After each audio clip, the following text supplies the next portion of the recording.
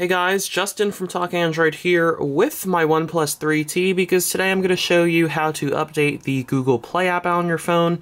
Just like every other device with Android, you have to update apps, and so does the Play Store. So we will go to the Play Store app. There it is marked by a Google Play icon on a shopping bag.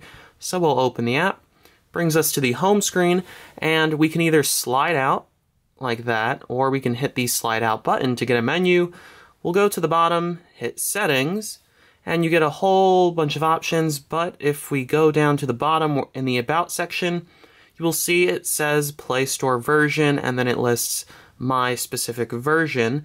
If we tap that, it'll either tell you that an update is available and begin downloading that and installing it, or here it says Google Play Store is up to date. So this is how you update the Google Play Store app on your Android phone or tablet, just like any other app on your phone or tablet. So if you have any questions, just leave a comment below.